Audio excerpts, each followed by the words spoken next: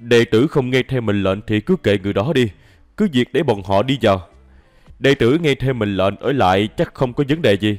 Lần này là thời cơ tốt nhất để chỉnh đốn phi dương tiên môn. Công tử Cao Minh, sao ta không nghĩ ra chứ? Ta đi làm ngay. Hòm hòm rồi, nên đi vào thôi. Thanh Bình, Dân Sơ Nhiên, Long Giật Trần, ba người các ngươi theo ta đi vào đi. Trần Thập Tam ngươi tu hành đã hơn trăm năm không thể đi vào, hãy ở đây tu hành là được ngay. Đại ca, ta về tỷ tỷ của ta thì sao chứ? Hai người trước đó có được cơ duyên vẫn chưa luyện quá hết, có ghi vào cánh cửa chúng sinh nữa cũng không có lợi ích gì. Ở lại đây, đón một vài người cho ta đi. Lục Trầm đi vào rồi, thiên ngự thần tử, tới chúng ta rồi. Trò hay bắt đầu rồi.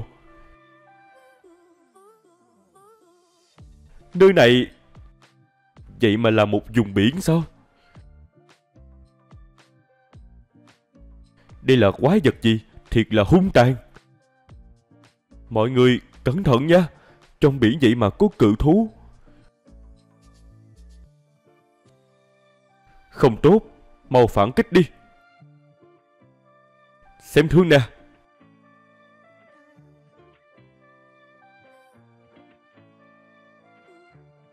Cự thú quá mạnh. Bỏ phi thuyền đi.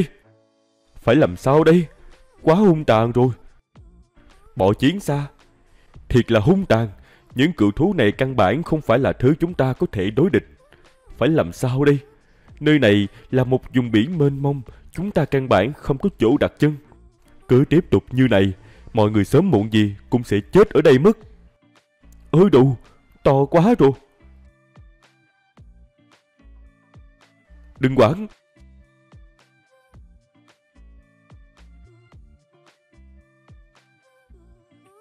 Trưởng môn quy vũ. Đó là bảo bối gì? Vậy mà có thể chấn nhiếp cự thú biển sâu. Nhìn hình dáng hình như cũng là chương hỗn độn của phi dương tiên môn.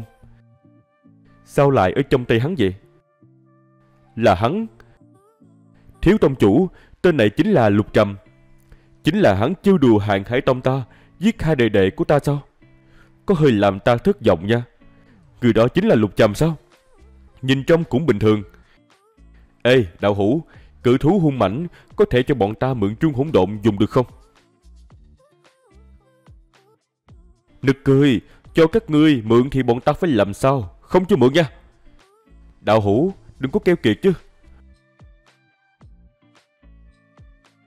Quân tử vô tội, hoài bích có tội. Tên lục trầm này cực kỳ kiêu ngạo chắc chắn sẽ không giao ra chuông hỗn độn đâu. Xem hắn rút lui an toàn kiểu gì đây. Tập phim hôm nay kết thúc tại đây. Mọi người nhớ theo dõi kênh để đón đọc tập tiếp theo nhé. ủng hộ kinh phí, edit dịch truyện cho team bằng cách cày view trên các nền tảng này hoặc đỗ nết nha mọi người. Chúc mọi người xem phim vui vẻ. Đăng ký kênh và nhấn thông báo để nhận thông báo chuyện ra sớm nhất.